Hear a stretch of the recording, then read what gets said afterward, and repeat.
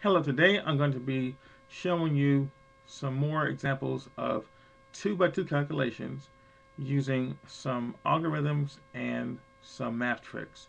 Now I'm going to give you a chance to look at these numbers and then see if you can break them down and get the answer before I reveal it to you.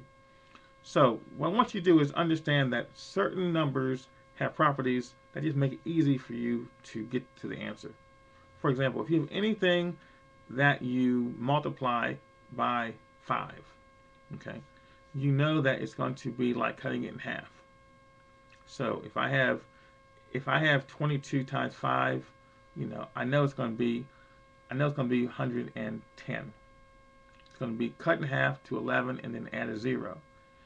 If it's a, an odd number, let's say with was 35, not that hard to do as well because I understand that half of 35 would be like um, seven, 17 and a half. Okay, so it's, it's not that hard to, to get the answer by looking at that as answer. Okay, 175 it's not that hard to do. So what you want to do is when you look at a number and you you have a, a chance to really figure out if it's an algorithm or is it going to be a math trick.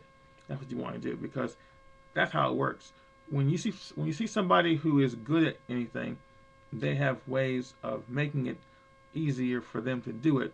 So to you, it may seem like, wow, this guy's really intelligent, but in essence, it's a trick that they have done over and over again, which makes up for the, maybe the lack of intelligence, or maybe it's not even needed to be intelligent.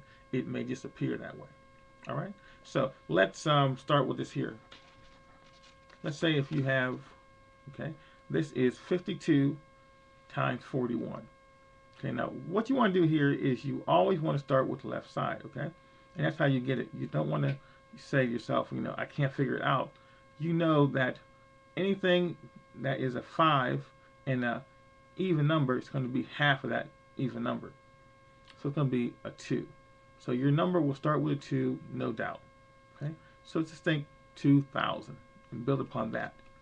Then you want to do your arch. Okay, so now you have you have five times one is five, and you have two times four is eight. So that's going to be 13. You know that it's going to be a two, so you have two, one, three, and then you know that on the outside it's going to be two times one is two. So it's two, one, three, two. And that's the answer. All right. Now the next one this one here is going to be 37 times 66. Now, this one has a trick to it because if you have a pair, which is 66, you always add the numbers on the left together. So in this case, it'll be 3 and 7 or 10. So now you just do that multiplication. 10 times 6 is 60. You add that to your left quadrant. So you have 3 times 6 is 18 plus 6. Now, one thing you have to understand, whenever you have an 8 and any number, it always reduces, it always goes up by 1 and down by 2. Okay? So what does that mean? Well, 18 going up by 1 is 20, down by 2 is going to be from the uh, from the 6 will be a 4. All right? So that's how it works. So it's going to be 24. Okay. So you have 24 as your starting number, you have two zeros on the end. When you have a zero, you simply cover whatever's coming up next. So this time it's going to be 7 times 6 is 42. So it's going to be 24, 42 is your answer. All right. Next one. Again, you see here, this is an easy one because it ends with the number 2. Because 2 times 1 is going to be 2. So what you want to do here is you want to start your algorithm from the left side, okay? So that would be 6 times 9 is 54, so think 5400, and then do your do your um, outside inside arch. So 6 times 1 is 6, and 2 times 9 is 18. So 18 and 6, 24, and you add that to 54. So you add the, the 2 to 54. So it's going to be 5, 6, 4, and then 2. 5642 is your answer. All right? That's easy to do. Next one. This one is very easy because there's a great trick that I discovered. This is 45 times 22. What you simply want to do is you want to bring the 45 up double and the 22 in half. So uh, 45 double will be 90 and then half of 22 is 11. So you simply have 90 times 11. And of course 9 times 11 is 99, so you have 0 on it. So it's 990 and you're done. So a lot of times when you see when you see problems, they're so easy to break down. It's like, wow, that's all. It's always to it. That's all there is to it. Okay, let's do another one. Okay, this one's going to be 48 times 25. Again, you could do the algorithm here. You could start with um, 4 times 2 is is uh, 8, which is a single number, and then you can do your arch. You would do um, you would do 5 to the to the 4 and, and 8 to the 2. But the point is, this one gives you a nice little trick. Look at 25 as 1 fourth, so that's going to be a 4. And you divide 48 times 4. So of course 4 goes into 4 once, goes into 8 twice, so it's a 12. And of course it can't be a 12, can't be 120, it's got to be 1200. Okay? It's the only thing it could be. So that's using a bit of um, trickery you know, using a clever observation and then using logic to make it make sense. So it's going to be 1200. This one here is really easy. Okay, this one here is um, 71 times 11. There are two ways to handle an 11. Okay, one you could add numbers together and put it in between. So you could say 7 and 1 or 8 and put that in between so it's 781 or you could say 7 and 71. Okay, so you add 7 to 71, it's going to be 7, 8, and put the 1 on the end. 7, 8, 1. And why do the, the, the one where you just add it?